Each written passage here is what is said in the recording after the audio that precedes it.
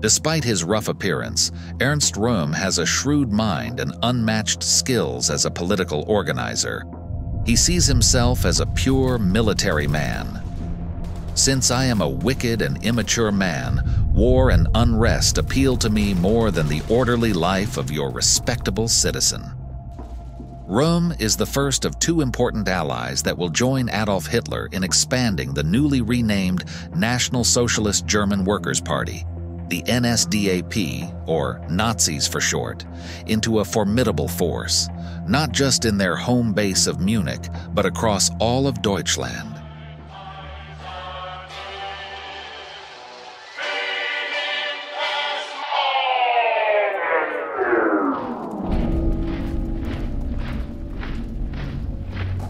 Despite initial skepticism about the potential of the fledgling German Workers' Party, Adolf Hitler had quickly recognized the opportunity for power and worked tirelessly to build the party's supporter base and influence. Using bold tactics, such as paid advertisements in an era where most groups to the extreme left and right hid in the shadows, and organizing large meetings that required payment upon entry, he was able to significantly increase membership of the DAP. In February 1920, he unveiled a powerful manifesto at the party's largest ever meeting at the Hofbrauhaus in Munich, an event that marked Hitler's successful entry into mass politics. It is during this period that Hitler crosses paths with two individuals crucial to the young party's growth. Ernst Röhm, who has replaced Karl Mayr as the commander of the Army Abteilung, to which Hitler is still officially attached, is a formidable figure. He is short and bulky, with a face that bears the hallmarks of the war in which he served as a frontline officer on the Western Front. It is scarred a deep red by an explosion at Verdun. His nose has been reduced to a tiny point by a bullet, and his cheek has been slashed with a long bayonet scar. He has been cut off from what he deems an orderly life by his own rampant homosexuality. Röhm has been assigned the post-war task of organizing the Black Reichswehr in Bavaria.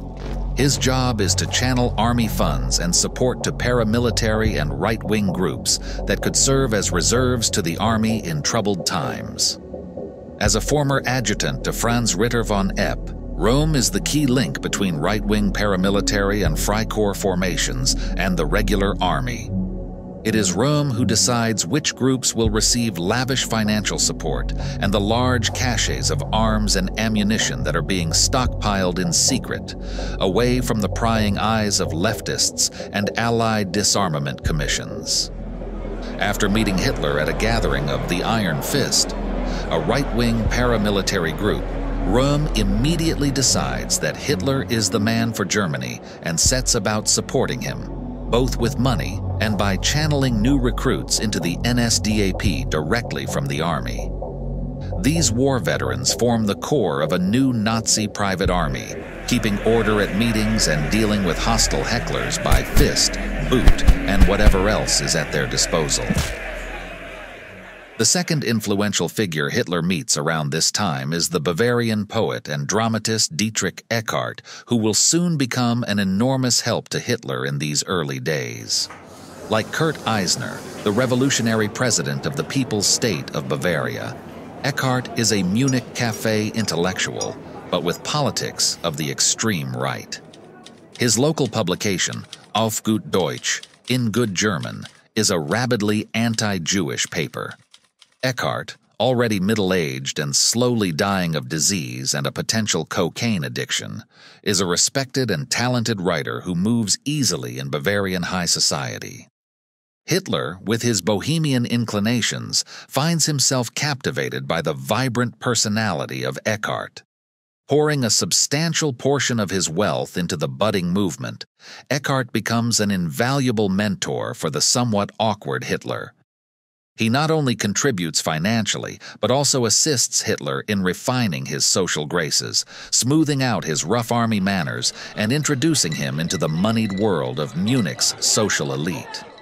It is with these two influential figures at his side that Hitler will continue to grow the Nazi Party into a faction that cannot be ignored and will not be denied. Darkness over Deutschland will return after this short break. In Munich, Adolf Hitler works with Röhm and Eckart to build the Nazi Party into a force to be reckoned with. In Berlin, Wolfgang Kapp, a German nationalist and political activist, and Walter von Lüttwitz, a German general who fought in World War I, launch a coup to overthrow the Weimar Republic. The Kapp-Lüttwitz Putsch, as it will come to be known, is driven by a fierce resentment of the Treaty of Versailles and economic instability. The leaders of the Putsch seek to establish a government that will annul the Treaty of Versailles and restore what they perceive to be Germany's former glory. On March 13, 1920, Kapp and Lüttwitz declare the establishment of a new government in Berlin with support from elements within the German army, the Freikorps, a paramilitary group composed of ex-soldiers, and conservative political factions. The government of the Weimar Republic, led by Chancellor Gustav Bauer, flees to Stuttgart. Amid the chaos of the Kapp-Lüttwitz Putsch, Dietrich Eckart and Adolf Hitler travel to Berlin on an important liaison mission aimed at establishing contact with Kapp. Their mode of travel is a light plane, piloted by Ritter von Greim, a seasoned ace from the Great War who will later become the final head of the Luftwaffe.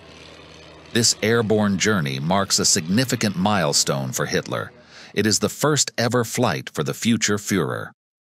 The plane makes an emergency landing in communist held territory where Hitler and Eckart barely escape shooting. They eventually arrive in the capital, only to discover Kapp has already fled and the putsch is on the verge of collapse. They are horrified to discover the chancellery occupied only by Kapp's shady PR man, the Hungarian-born Jew Trebitsch Lincoln. Taking Hitler's arm, Eckart suggests a retreat, whispering, Come on, Adolf, this is no place for us. The pair stays on in Berlin, where Eckart introduces Hitler to the strongest nationalist organization in the North, the Stahlhelm, and to his friend Frau Helene Bechstein, wife of the famous piano manufacturer. She is the first of many wealthy women to fall under Hitler's spell and contributes much needed financial support to his movement. Once he has returned to Munich, Hitler decides it is finally time to devote himself heart and soul to the party and to his own mission. With this end in mind, he takes the decisive step of finally resigning from the army. Hitler spends the rest of 1920 organizing and building up the NSDAP. He believes the party needs its own distinctive emblem, and in a move that will leave its mark forever on the 20th century, he decides to appropriate the swastika emblem, already used previously in Germany by the Thule Society and by some Freikorps and other nationalist factions, such as the Ehrhardt Brigade.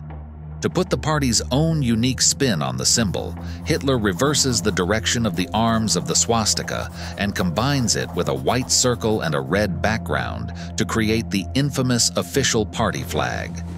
Dietrich Eckart then provides the party with its official slogan, Deutschland erwache, Germany awake, and awaken it will. If you have enjoyed this podcast episode of Darkness Over Deutschland, please make sure to check out the other episodes in the series via the playlist on screen. Thank you for listening to the Darkness Over Deutschland podcast.